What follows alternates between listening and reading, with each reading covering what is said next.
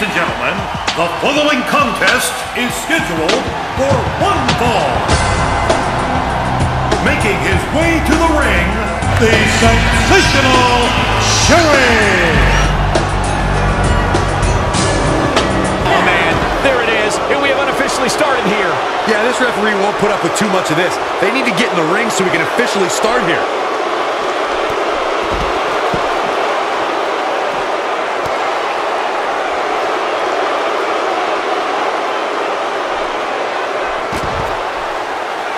What an unforgiving thud. Crushing force on that elbow drop. Drops the elbow.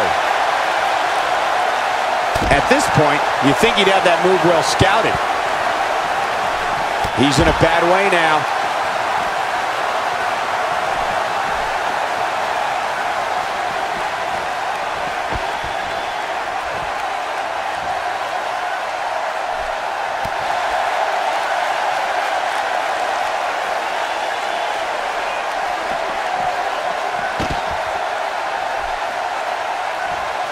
He looks a bit off his game here.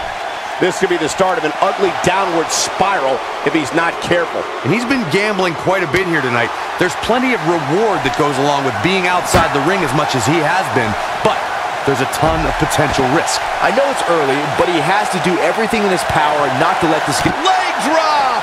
He's in control now.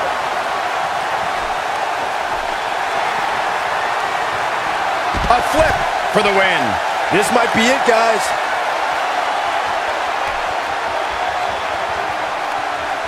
That'll make your heart beat.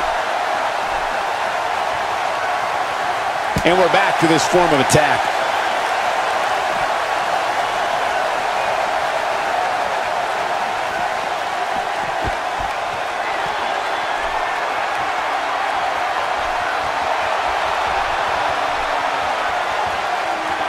Going to be tough for him to fight back from this. Oh, the first thing he needs to do is get back to his feet, which is clearly easier said than done.